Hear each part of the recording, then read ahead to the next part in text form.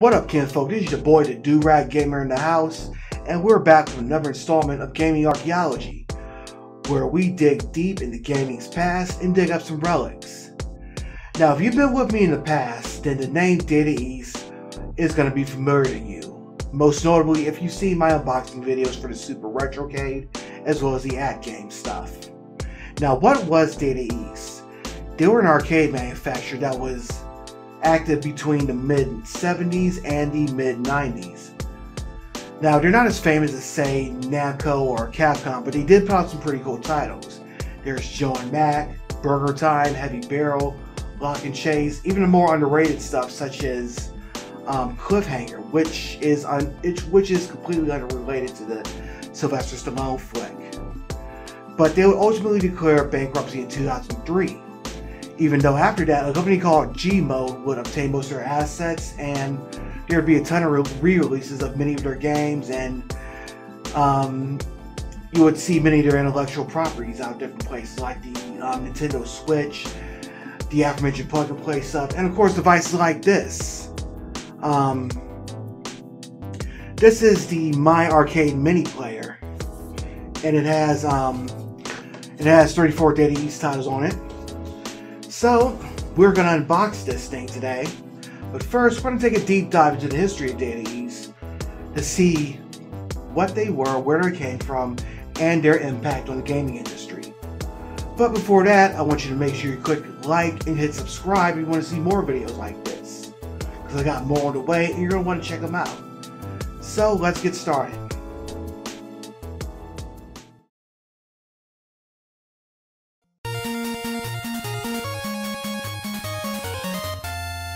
While Data East may not be as well known as other classic gaming developers, say Capcom, Konami, or Taito, they do hold a significant place in the hearts of many retro gamers. From the late 70s until the mid 90s, Data East supplied arcades and consoles with dozens of fun games. Joe and Mac, Burger Time, and The Avengers are just a few games that they are known for. While financial mishaps may have doomed them as a company, they managed to live on thanks to gaming emulation, licensing deals, and a newly resurgent retro gaming collectible market. Data East was founded in 1976 by Tokai University alumni Tetsuo Fukuda. The company first began as an electronic engineering company. Among their first game-related products was the Deco cassette system. The idea was that arcade owners could install a different game by changing the inner tape without having to swap out the entire cabinet. In theory, this could solve the problem of arcade machine turnover expenses. Instead of changing the entire cabinet, one could simply buy a base cabinet and change the inner cassette when they wanted to replace the game. However, the problem was that the tapes were often unreliable, taking a long time to load and becoming worn out quickly.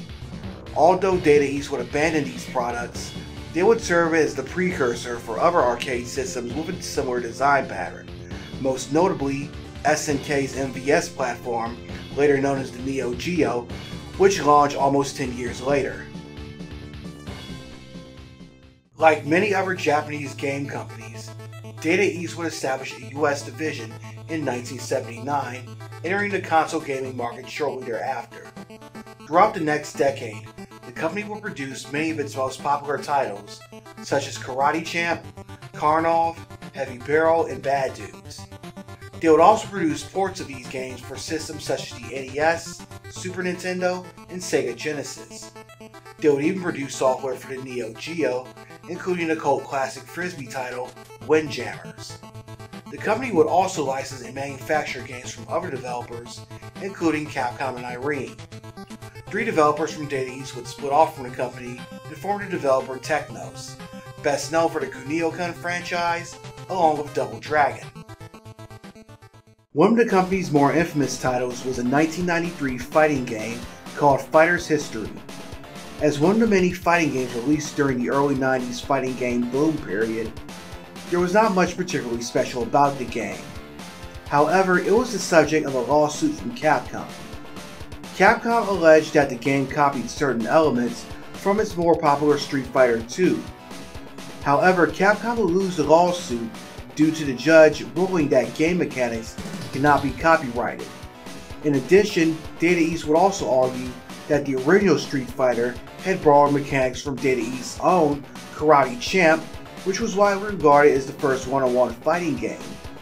Thus, one could make a case that Data East was no more guilty of copying than Capcom was. Ironically, Data East itself had filed a lawsuit against Epyx Incorporated years earlier over the 1986 game World Karate Championship, which Epyx published in the US as International Karate, or IK for short. Data East alleged that Epyx had been guilty of trademark and copyright infringement, accusing them of copying elements of the aforementioned Karate Champ. While initially the courts ruled in favor of Data East, meaning that Epyx would have to recall all copies of IK, Epyx will later appeal the decision. This time, the courts would rule in their favor, ruling that the similar elements between the two games were all common ideas, such as a two-player option, a scoring system, and various moves. Therefore, they could not be copyrighted, and while both games had similar gameplay and themes, there were enough differences between the two that consumers would have no trouble distinguishing between the two games. Furthermore, while the games were similar in common elements, the ideas behind both were to portray the sport of karate, and one can't copyright an idea, otherwise Data East would hold a monopoly over an entire sport's gaming rights. Like Capcom's lawsuit against the company years later, the courts ruled that look and feel cannot be copyrighted, only intellectual property. If either one of these lawsuits had gone differently, one can see how problematic that would be for the gaming industry. The company would also produce a line of pinball games by way of a pinball division that it purchased from Stern Electronics. Whereas companies such as Williams created machines that were based on original concepts, Data East would often create pinball machines based on licensed properties, such as the WWF, Batman, and celebrity Aaron Spelling. While these machines were appealing to the public, they would be somewhat costly as the licensing fees were expensive. Furthermore, the arcade and pinball scene was experiencing a bit of a downturn throughout the 90s.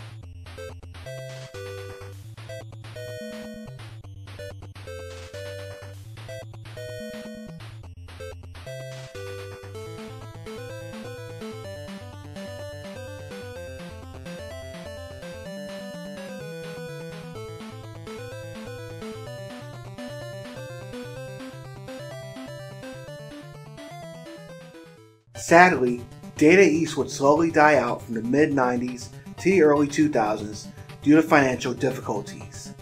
1994 would see the company's US branch, along with its pinball division, sold off to Sega as part of a debt settlement. In 1999, Sega would then sell the pinball division to Gary Stern, who had been running the subdivision since Data East obtained it back in 1986. Gary would later rename it Stern Pinball since it had previously been a part of Stern Electronics back when his family owned it.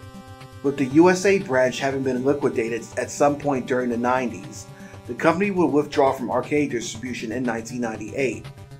For the next few years, Data East would fall back to an earlier strategy, sales of electronic equipment, until finally declaring bankruptcy in 2003. The company's final game would be a 1996 PlayStation and Saturn port the MS-DOS first-person shooter DEFCON 5, which was a far cry from the platformers, shooters, and action titles that defined the company's glory years. Fortunately, while Data East may be gone, the company survives in a way, as many of its assets, including a name, were bought by Japanese mobile gaming company G-Mode. Several of Data East's individual franchises, such as the Jake Hunter mystery games, were similarly picked up by companies such as Arc Systems Works. In addition, many classic Data East titles, such as Bad Dudes and Sly Spy, are available on the Nintendo Switch under the Johnny Turbo's arcade label. Finally, retro gaming companies such as Retrobit, MyArcade, and AtGames have created several handheld and plug-and-play devices that feature Data East titles. While Data East may be long gone, the amount of options for gamers to experience their legacy is endless. Whether you grew up gaming, if you're new to the hobby, or want to show your kids the classics, Data East will always be a huge name when it comes to retro gaming.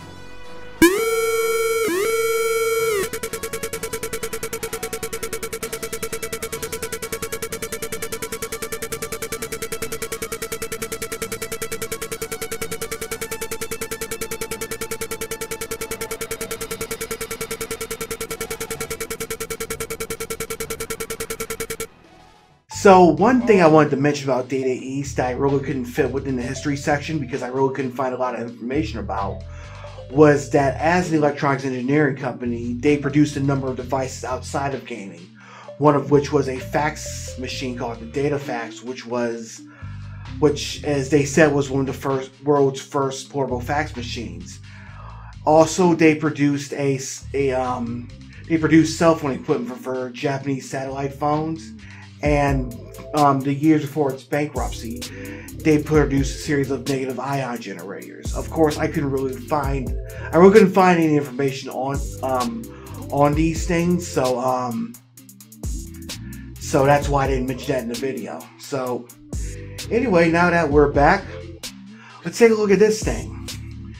This is the Data East Classics um, player from MyArcade, and um, if you've seen the store, you've seen those. Um, you're probably familiar with those um, really big mini arcade machines.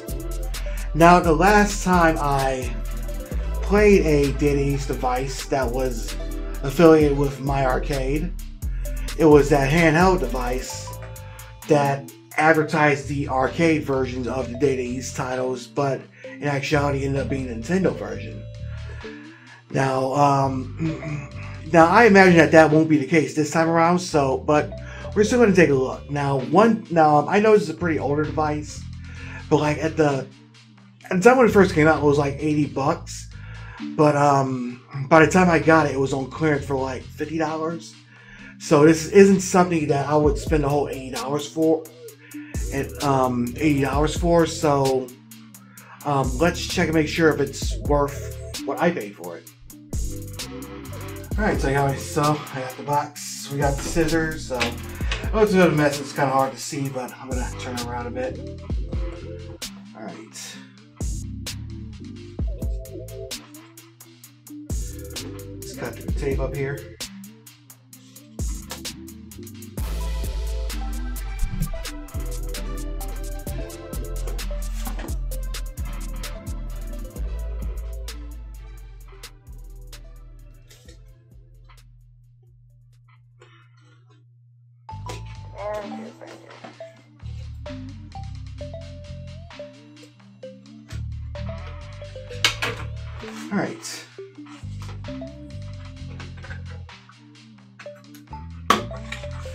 One thing about MyArcade stuff is that it got some pretty nice packaging, if nothing else.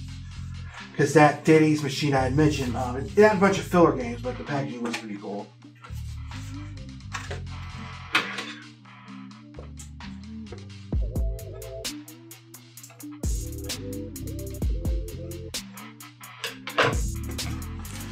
Now, obviously, Marvel's Avengers isn't going to be on here for copyright reasons.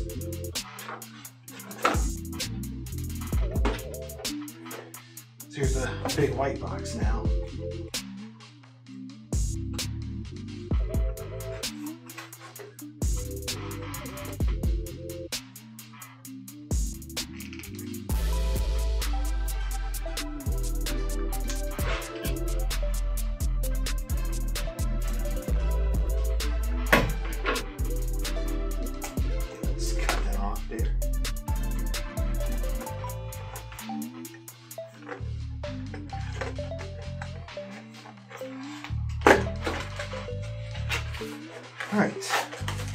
So here's what's on the inside.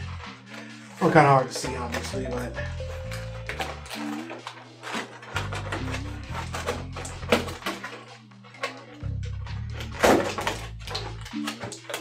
Get to be careful not to drop it.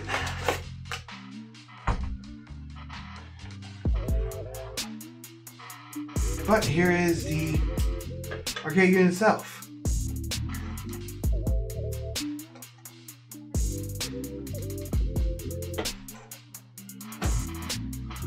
Take a to the side. not bad.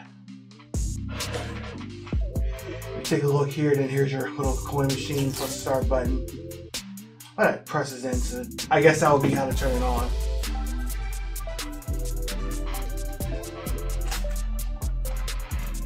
Now here's what else is inside the box. Um,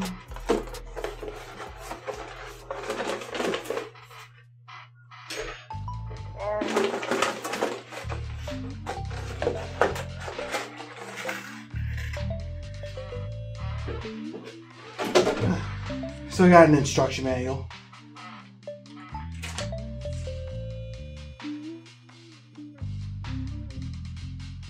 Changing the display layout. Some tips on how to change the display layout. And here is the and here is the uh, cable, the AC cable. Sorry to step up from the Data East portable um, because the last MyArcade device didn't have uh, plug-in or a or even a battery, so we're gonna have to duck out and get some batteries. So now we're going to plug this in.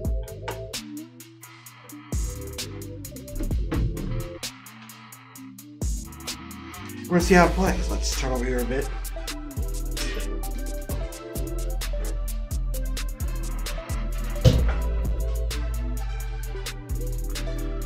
Alright, now we're back. I know it's a bit of a mess again, but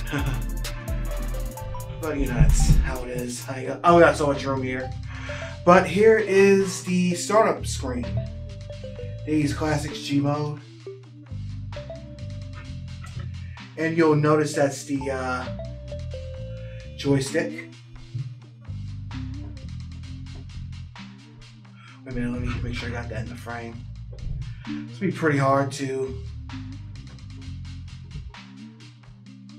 Karate Champ, Side Pocket, Caveman, Ninja, Shootout, Super Burger Time, Midnight Resistance, Lock and Chase, Burger Time, Pro Bowling, Pro Soccer, Pro Tennis, Rootin' Tootin'.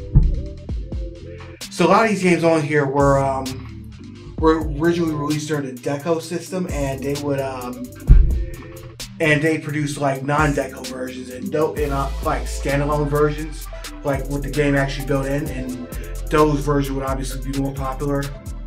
Because like I said, like the deck, like with the uh, Deco versions, um, the problem the problem was they um, they would oftentimes wear out easily. So let's see what one of these games look like. I'm just really looking at bad dudes, making sure it's start. 80s licensed by G mode. I have a Ninja Roid and Grime. I'm wondering where's the volume on here? Oh, here it is on the back.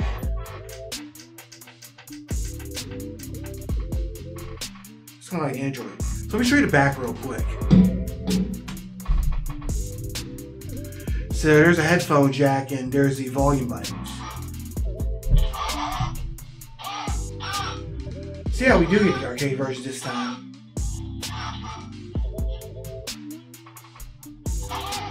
Let's see how it plays.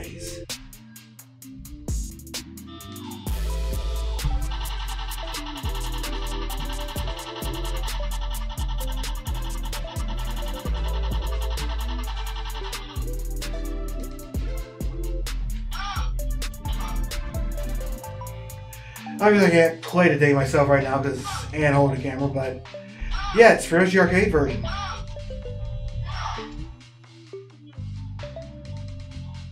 So definitely a nice.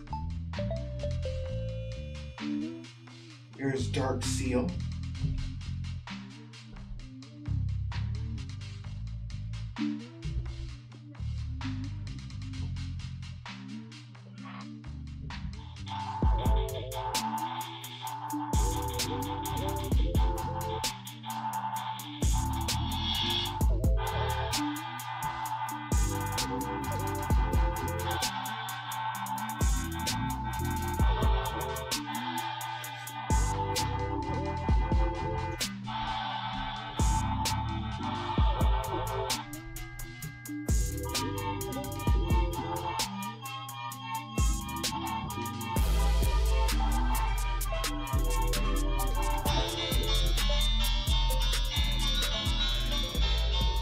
Seems like an RPG beat up hybrid.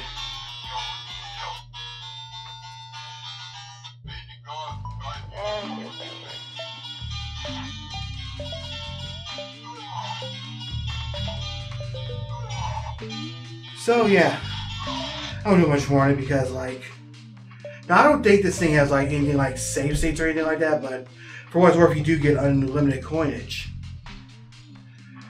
So that's it for so um well I'm not sure if I would pay full price for it and I'm not and I'm not sure you would.